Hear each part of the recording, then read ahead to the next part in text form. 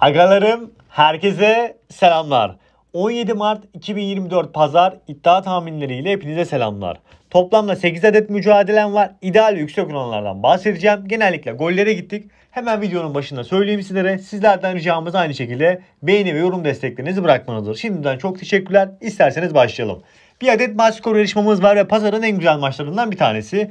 Bilen 3 kişiyi de gruplarımızda misafir edelim istiyorum. Trabzonspor, Fenerbahçe maç skoru ne olur yorumlara yazmanız bizler için yeterli olacaktır. 3 kişiyi gruplarımızda misafir edelim. Her türlü soru, görüş, öneri, gruplara gelmek isteyen arkadaşlarımızla benimle Instagram üzerinden iletişim kurabilir. Instagram adresimiz Kangal Bey'dir. Özellikle gruba gelmek isteyenler IBAN üzerinden benimle doğrudan Instagram'da iletişim kurabilirler. Cumartesi, cuma, cumartesi, pazar olduğu gibi pazar günü de aynı şekilde mislerimize devam edeceğiz. Ekranda gördüğünüz e, çarşambanın misleri sanırım. Bu şekilde e, cumartesi zaten iki tane veya üç tane mislimiz şu an verilecektir. Ben videoyu çekiyorum. Ondan sonra vereceğim. Pazarın misleri de zaten hazır kafamda. O şekilde devam edeceğiz. Kombinlerimiz de aynı şekilde devam ediyor. Hem ideal basket kuponu hem de ideal futbol kuponu. Ya, bültenin yoğun olduğu zamanlarda alternatif futbol kuponu da vererekten de sizlere kazanç sağlatmaya çalışıyoruz. Canlı olarak gruplarımızda izlediğimiz maçlara çok güzel keyif alaraktan da kazandırmaya çalışıyoruz ki bu konuda gerçekten başarılı olduğumuzu söyleyebiliriz. Herkes Açık Telegram grubu var. Açıklama yorumlar kısmında linki var. Oraya da katılabilirsiniz. Hatta ben sizlere bugün neler yaptık Herkes Açık te- Telegram grubunda ondan göstermek istiyorum. Günaydın agalarım diyerekten de ben zaten muhabbete girmişim. Bir tane mücadele vardı. Adelaide United Avustralya'da saat 12 gibi verdim bunu. Dedim ki deplasmanın bir golü isteyen biraz oran beklesin gelsin. Dakika 80'de gol geldi. Devam. Canlı saatte dedim ki 20.30'da canlı yapacağız arkadaşlar. Dedim ki ilk yarı bitti. Pendik maçını izliyorum. Dedim ki ben Pendik'in galibiyetini bekliyordum zaten. Video çekmedim. Yüksek misli mücadelemde. İlk golü Pendik'ten bekliyorum dedim. Ee, İstanbul Spor kırmızı gördü. Pendik'in kaçırmış olduğu pozisyonlar. Burada basketbol canlarımız devam ediyor. Aynı şekilde burada Pendik'in kaçırmış olduğu pozisyonlar derken 90 artı 4'te sanırım Pendik'in golü geldi. İlk gol Pendik geldi mi? Geldi. Şapkadan tavşanı çıkarttık. Yüksek misli maçın Pendik Spor'un galibiyetiydi benim bugün. 900 TL 1.51 gibi oranı vardı. Buradan bunu aldık. Basketbollarımız yine devam etti. Son gecenin son canlısı olarak bıraktım. Dedim ki Toulouse-Lyon mücadelesi. İlk yarı bir gole girdim. Dakika 19'da 1.57 gibi oranı vardı. Lacazette golünü attı. 1-0 bitti. Agalarım gece için tebrikler dedim. Hayırlı geceler. Cumartesi için herkese de bol şans diledik ve devam ettik. Bu şekildeydi. Şimdi maçlarımıza geçelim. 8 adet mücadelemiz var. Sizlerden tek ricamız beğeni ve yorum desteklerinizi bırakmanızdır. Teşekkürler. Başlayalım. Kasımpaşa ile Galatasaray mücadelesi pazar günü erken seans maçlarından bir tanesi. Normalde Galatasaray maçlarını bu kadar erkene koymazlardı. Şöyle söyleyeceğim. Ya Kasımpaşa çok rahat oynayacak öncelikle bunu söyleyeyim. Kasımpaşa rahat oynayacağı için Galatasaray kalesinde ben birkaç tane pozisyona girmesini özellikle 3 tane net gol pozisyonu yazdım Kasımpaşa tarafına. Çünkü abi adamlar bu maçta rahat oynayacak ve çok önemli bir eksiği de yok. Neredeyse Kasımpaşa'nın tam kadro olduğunu söyleyebilirim. Galatasaray da burada liderliğini devam ettirmek için sahaya çıkacak. Benim burada ideal tercihim ben bir Galatasaray taraftarı olarak söylüyorum. Burada puan kaybı olabilir olma ihtimali var. Ama şöyle söyleyeceğim. Yani 2-1 Galatasaray yine koparabilir diye düşünüyorum. Zor maç. Ondan kaynaklı düşünüyorum açıkçası. İdealden karşılıklı atılacak golleri değerlendirebiliriz dostlar. Onun dışında ben KG varı zaten idealden değerlendirdim ya. Bunu biraz oynayalım birlikte. 2-1 skora göre neler yapabiliriz diye baktığım zaman da şöyle güzel bir oran alabiliriz diye düşündüm. Maç sonu 2 ve KG var şeklinde değerlendirirsek oran neredeyse 1.92 bandına kadar çıkartabiliyor. 2-1 skora göre ben Kasımpaşa'dan gol bekliyorum ama 2-1 hem KG var olur hem de Galatasaray kazanabilir. Yüksek oranıyla 1.88 bandında bir oranı var. West Ham'la Aston Villa mücadelesi. Her iki takım da hafta içinde mücadele oynadı. Her iki takım da kazandı. West Ham'a vermiştik. Aynı şekilde galip geldi. Aston Villa'nın canlılarından değerlendirdik. Güzel bir şekilde kazan sağladık hafta içindeki perşembe maçlarından. Şimdi ligde karşı karşıya gelecekler. Premier Lig'de bu hafta kupa haftası olduğundan kaynaklı bazı maçlar ertelendi. Ender maçlardan oynanan bir tanesi. Ender oynanan maçlardan bir tanesi. Burada ben mücadeleyi şöyle değerlendireceğim. Ev sahibi West Ham'da özellikle forvet döndü. Ev sahibinin forveti kimdi? Antonio'ydu. Antonio'nun da çok fazla golü yok. Genelde 9 numara olarak Bowen oynatıyor. Ama Bowen normalde 9 numara oyuncusu değil. Sağ kanat oyuncusu. Fakat bu sezon 18 golü var.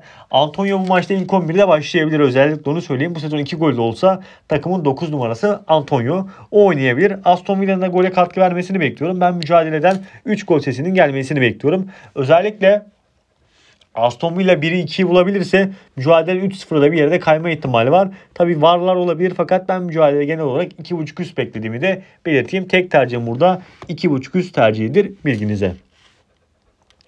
Rennes'le Marsilya mücadelesi. Marsilya hafta içinde bir mücadele oynadı. Villarreal İspanya deplasmana gitti. Onun yorgunluğu olacaktır bu maçta. Bir ta, e, Rennes'in e, favori çıkmasının nedenlerinden bir tanesi de Marsilya'nın hafta içinde bence maç oynaması. Her iki takımda da önemli eksiklik yok. Ben Marsilya'yı şu yönden çok beğeniyorum. Girmiş olduğu pozisyonları gerçekten e, değerlendirme yüzdesi, gol atma yüzdesi gerçekten yüksek. Geçen mesela ne 6 tane mi ne gol pozisyonu %53 tane gol attı anladınız mı? O şekilde yani girdiği pozisyonları iyi değerlendiriyor. Ren de kendi evinde Ren'in de bir eksiği gediği önemli bir eksiği gediği yok.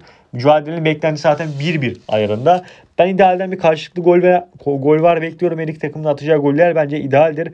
Ve yüksek orandan da şunu önermek istiyorum. Mücadele 1-1 atarsa bile 2-1 kazanabilir. 2-3 gol tercihi de 1.80 bandında mücadelenin yüksek oranlı tercihidir. Geçtim. Dortmund'la Frankfurt mücadelesi. Dortmund hafta içinde bir mücadele oynadı. Yüksek misli yaptım. Dortmund'un turu atlayacağına. Hatta ikinci gol e, Dortmund olarak değerlendirdik. Canlıdan da kazandık. Güzel kazanç sağladı. Frankfurt'ta oynayacaklar. Burada bir takılma ihtimalleri var mı? Bence var. Ama şöyle söyleyeyim sizlere. Sarı duvarın desteğiyle yine geçmesini bilebilir. Ben şurada gittim. Tarafa gitmedim burada. Dortmund'dan zaten gol bekliyorum. Frankfurt da burada destek verebilir. Mücadelenin bir KG olarak tamamlanmasını bekliyorum. Tek ideal tercihim burada karşılıklı atılacak gol olacaktır. Diğer mücadeleme geçeyim.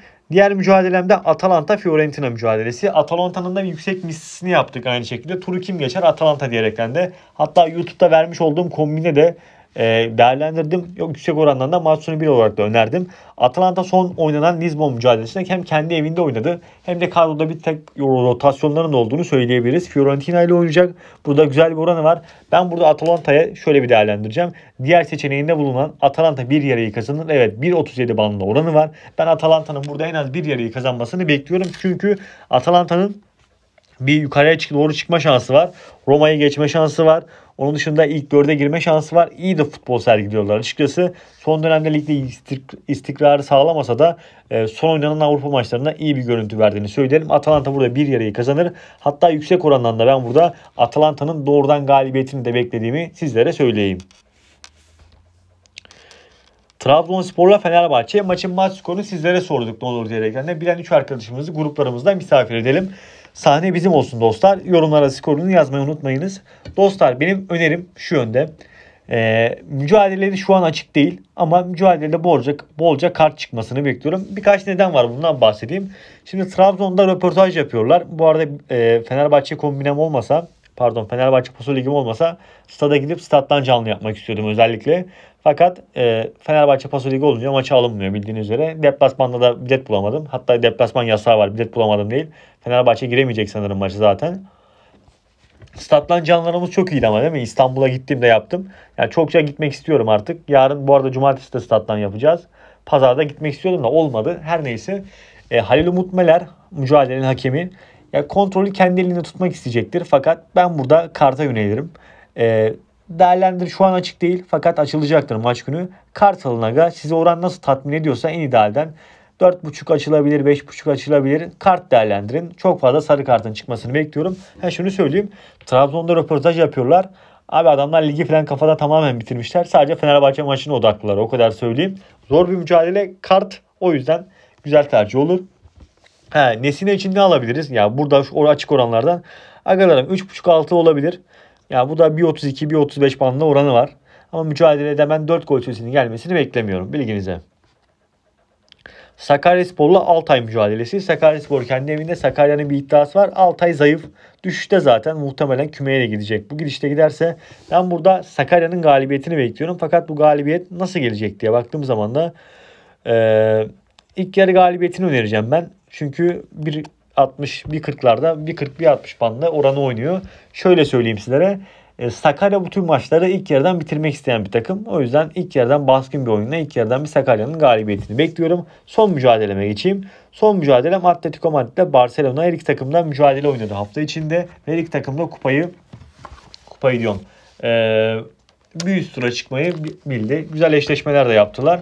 Ben burada e, şöyle söyleyeyim. Atletico Madrid kendi evinde bu her iki takımın yorgun olması savunmaya da yansıyacaktır diye düşünüyorum. Karşılıklı atılacak goller tek ideal olacaktır. 1.50 Bir 58 yazıyor, bir 40 yazıyor. Oran kaçsa bilmiyorum ama KG var oranı ideal şekilde değerlendirecekler. Bu yöntemi değerlendirmeyi 8 adet mücadele ideal yüksek konulardan anlattım. Yüksek mislerimiz, kuponlarımız, canlılarımız gruplarımızda olacaktır. Gruplar için Instagram'dan mesaj atabilirsiniz. Sol altta gördüğünüz üzere Kangal Bey hesabına da oradan iletişim kurabilirsiniz. Hepsi orada paylaşılacaktır. Video like atıp kanala abone değilseniz abone olmayı unutmayın. Görüşmek üzere. Seviliyorsunuz. Bay bay.